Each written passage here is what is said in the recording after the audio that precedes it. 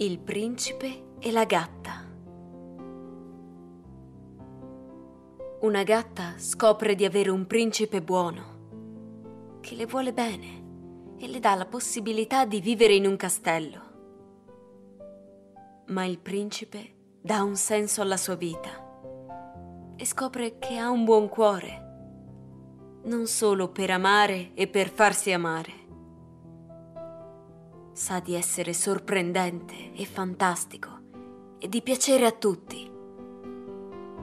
Una parte di sé è nascosta e non lo sa.